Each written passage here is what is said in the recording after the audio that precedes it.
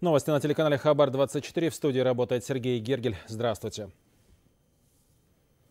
23 пострадавших в результате взрыва в одном из столичных кафе остаются под наблюдением врачей. 11 человек с незначительными травмами на амбулаторном лечении. Об этом сообщили в управлении здравоохранения города. Сообщается, госпитализированные пациенты поступили с термическими ожогами и отравлением угарным газом средней степени тяжести. Напомню, трагедия произошла накануне днем. Взрыв газового баллона был такой силы, что дом, в котором находилось заведение, сравнялся с землей. Не обошлось, к сожалению, без жертв. Одна из раненых скончалась скончалась по дороге в больницу. Травмы, полученные под завалами, оказались несовместимы с жизнью. По факту случившегося возбуждено уголовное дело.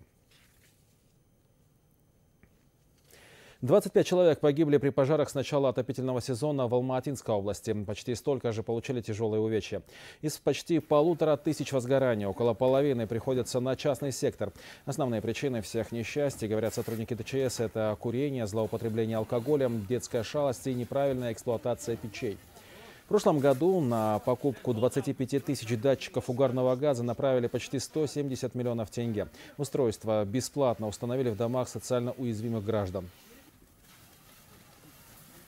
На этом, в принципе, мы не останавливаемся. В этом году планируем также при поддержке Акимата закупить и также установить для данных слоев населения уже датчики обнаружения непосредственно дыма, пожара и датчики утечки природного газа. Так как у нас сейчас, видите, область, она активно газифицируется.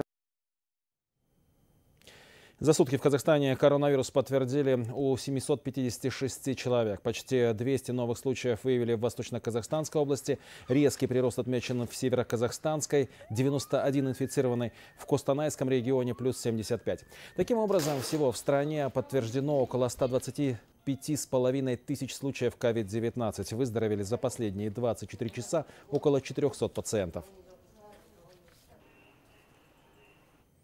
В ВОЗ предупредили об угрозе третьей волны коронавируса в Европе. Об этом в интервью иностранным СМИ сообщил специальный посланник Всемирной организации здравоохранения Дэвид Набара. По его словам, третья волна COVID-19 придется на начало следующего года. По мнению эксперта, с первой европейские страны справились неплохо, однако уступили, упустили, вернее, возможность а, построить необходимую инфраструктуру за лето, чтобы предотвратить вторую волну. Набар отметил, что сейчас перед Европой стоит задача взять взять вирус под контроль, не прибегая к локдауну.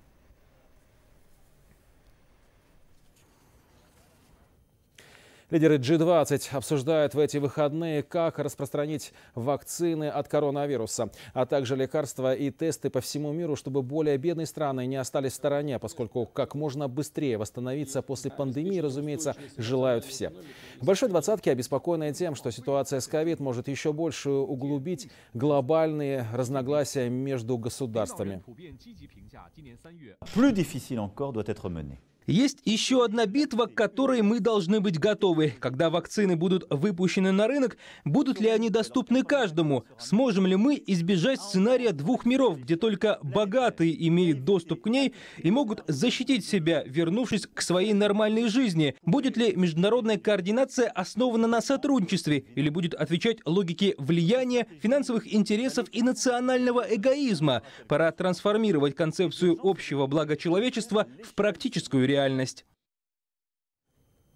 Саммит лидеров G20 в этом году проходит в видеоформате под председательством Саудовской Аравии. В Ар-Рияде также выступили за равномерное распределение вакцин.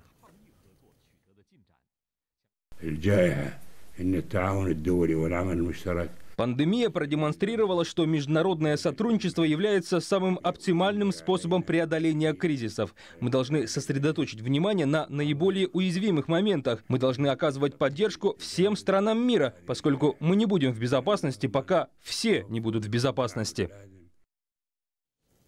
В США выдано экстренное разрешение на лечение пациентов с COVID-19 коктейлем антител от компании Regeneron. Препарат ранее применяли в терапии от коронавируса у Дональда Трампа. Сообщается, что принимать коктейль антител можно пациентам с 12 лет с легкой и средней степенью тяжести заболевания. Запрещается употреблять его уже госпитализированным больным и тем, кто нуждается в кислородной поддержке. Напомню, на сегодня в США подтверждено свыше 12 миллионов случаев инфицирования. Свыше 260 тысяч американцев скончались скончались. Возвращаемся к событиям в нашей стране. Строительство четырех многоэтажных домов в центре Алматы вызвало возмущение горожан. Они считают его незаконным. Здание возводят на месте бывшего специализированного детского сада. Когда сносили дошкольное учреждение, обещали построить новый сад и один высотный дом. Теперь у алматинцев возник резонный вопрос. Кто и когда изменил целевое назначение нового строительства? В дело пришлось вмешаться антикоррупционному департаменту. Анастасия Валикжанина разбиралась в ситуации. За два с половиной года Мурат Касенов вместе с активистами написал больше 600 писем в разные госорганы города и страны. По его словам, вот здесь, на пересечении улиц Карасай-Батыра и Шарипова, незаконно строят сразу несколько жилых зданий. Еще в 1980 году на данном участке были детские ясли-сад. Государство построило специально для детей слабовидящих и слепых родителей. А 16 лет назад детсад перестал работать. С тех пор его передавали из рук в руки разным хозяевам. При этом его целевое назначение менялось не раз. И только в 2017 году местные власти решили, что на этом месте должны быть детский сад и многоэтажка с паркингом. По факту же здесь возводят четыре высотки. Почему там э, четыре домов вместо одного, я не могу пояснить. Данный вопрос не относится к нам. Там в настоящий момент целевое назначение для строительства, эксплуатации и обслуживания многоквартирного жилого дома со встроенно-пристроенными помещениями, детским садом и подземным парком. Данное строительство ведется с июля 2018 года. И она по своей сути, содержанию незаконна и самовольна. Потому что данное строительство велось без документов, без уведомления о начале строительно-монтажных работ, без проектно-сметной документации, без технического надзора, без авторского надзора, без э, выданного разрешения на экологическую эмиссию – Получается, что почти полтора года стройка велась без каких-либо документов. Но даже не этот факт возмутил горожан. При возведении зданий застройщик захватил больше 11 соток прилегающей земли, на которых и строились высотки. Жители обратились в Комитет по управлению земельными ресурсами Министерства сельского хозяйства. Им ответили, что назначена внеплановая проверка в отношении Акимата Алматы. Она установит, насколько законным было предоставление строительной компании земельного участка, принадлежащего государству. Они Недавно в дело вмешался и антикоррупционный департамент. Сейчас специалисты изучают эту проблему. Анастасия Валикжанина, Валентин Лобанов, Алматы, Хабар 24. Павлодарские волонтеры обеспечивают горячим питанием сотрудников блокпостов, которые круглые сутки дежурят по периметру областного центра. А горожан добровольцы не устают обучать правильному мытью рук, ношению масок и их утилизации. Эта масштабная работа в борьбе с коронавирусом объединила общественные организации. С самого начала пандемии волонтеры тесно сотрудничают с медицинскими учреждениями. Большой акцент и совместно с волонтерами, конечно, делаем на наших пациентов, которые посещают нашу поликлинику.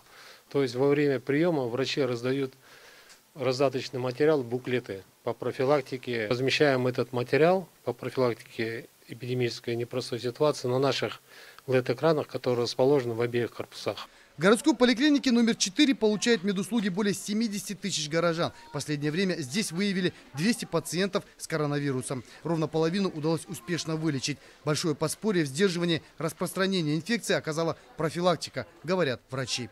Втягиваете снизу эту маску на весь подбородок, тем самым поправляете, да? У вас получается вся маска закрыта. Все, закрывает ваш подбородок. Прикасаться руками к маске нельзя. Волонтеров сегодня больше заботит правильная утилизация средств индивидуальной защиты. Они являются опасным источником распространения инфекции. Людям это тоже нужно объяснять. Общественники предлагают установить на улицах специальные контейнеры для использованных СИЗов. Каждая организация, каждое предприятие пусть собирает отдельно эти емкости, а в дальнейшем уже есть же у нас службы, те, которые занимаются утилизацией вот именно данных отходов.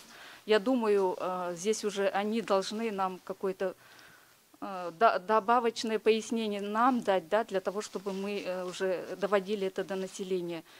Потому что много вопросов возникает в ходе наших презентаций, в ходе наших акций. По периметру Павлодара работают пять блокпостов. Волонтеры выступили с инициативой поддержать дежурные смены горячим питанием. Клуб добряков каждый день привозит сюда еду. Уже седьмую смену работаю. Э, на улице погода холодная, ну как бы мерзнем мы, но меняемся. Э, волонтеры нам привозят, э, клуб добряков горячую еду. Спасибо им за это. Горячие обеды и ужины готовят за свой счет кафе и рестораны. Волонтеры постарались. Они же и доставляют питание на блокпосты. С начала пандемии общественники не снижали активности. Некоторые из них тоже переболели. Я лично сам переболел э, ковидом, э, был на карантине 14 дней, э, полностью лечился по алгоритму, который назначили мне врачи. После этого мы вышли снова на горячие точки, помогали в провизоры стационары. На тот момент Беда не спрашивает, когда прийти. Настигло большое количество заболевающих. Не хватало штативов, капельниц. В самый пик карантина клуб Добряков поддерживал 30 карантинных домов, почти 4 тысячи жителей. Они обеспечили продуктовыми наборами. Сейчас эпидситуация в Павлодарской области считается одной из неблагополучных в республике. Поэтому волонтеры призывают объединиться в борьбе с COVID-19. Ербуловичев, Самат Аспанов, Женя Тимирбулат из Павлодара, Хабар, 24. В Атыраускской области сократилось число доноров крови. Чтобы привлечь добровольцев, медики проводят специальные акции на предприятиях и производствах. Сейчас отмечают они в запасе 15 тысяч доз биоматериала, но этого может не хватить, если понадобятся большие объемы. Передовое оборудование, цифровые технологии. Областной центр крови построен с учетом современных требований. Здесь могут принимать до 100 доноров в сутки. Однако сейчас кабинеты забора крови все чаще пустуют. Сказались пандемия и режим самоизоляции. Сегодня, к примеру, 8 доноров пришли. Раньше 45 в день принимали. Всего же за 10 месяцев наш центр посетили свыше 6 тысяч доноров. Мы заготовили более 13 тысяч доз компонентов крови. Сейчас фонд составляет 12 тысяч доз. Эритроцитосодержащие компоненты, свежезамороженная плазма и тромбоконцентраты. Повышенный спрос именно на эти биоматериалы. Пока запасов достаточно, но банк крови, говорят врачи, необходимо постоянно пополнять. Очень часто восполнить необходимый запас крови помогают полицейские, спасатели и военнослужащие области. За счет добровольцев из их числа на сегодня дефицита донорской крови нет. Между тем, количество доноров в регионе продолжает сокращаться. Чтобы повысить донорскую активность среди горожан, врачи центра намерены провести ряд акций в организациях и предприятиях. Соблюдение всех эпидемиологических требований, конечно. Райхан Тажибаева, Арстамбек Кинже, Амантай Матенов, Атрау, Хабар 24. Главному украшению мавзолея Ахмеда Яссави Тайказану вернули исторический облик. Вокруг древней чаши установили 10 наконечников с именами духовных лидеров Средневековья. Именно так, согласно источникам, Казан выглядел вплоть до середины 20 века. В 1935 году его забрали на выставку в Санкт-Петербург, откуда он вернулся уже без сопутствующих деталей. Они, по словам историков, бесследно исчезли. Но по инициативе руководства музея Азрет Султан наконечники воссоздали и вернули на прежнее место. Изготовил их один из лучших мастеров Туркестана. Работа заняла около года. Один из главных источников, подтверждающих, что Тайказан был окружен наконечниками, фотографии, сделанные путешественником Александром Куном в 1870-х годах. Такие же фотографии есть и у других ученых, посещавших мавзолей в начале 20 века. Отмечу, что мавзолей украшает еще один, более крупный наконечник, на котором имя Ходжа Ахмеда Яссави. Его в свое время мавзолею подарил эмир Тимур. Коллекции болгарских нумизматов ожидает пополнения. В стране состоялась презентация двух новых почтовых марок. Посвящены они 1150-летию выдающегося философа и ученого Абу Насара Аль-Фараби и 175-летию поэта и просветителя Абая Кунанбаева. С инициативой их создания выступило посольство Казахстана в Софии. В торжественной церемонии гашения марок приняли участие отечественные дипломаты и члены правительства Болгарии. Стороны отметили, что такая инициатива – хорошая возможность познакомить болгарскую аудиторию с культурным наследием наследием и духовным богатством народа Казахстана.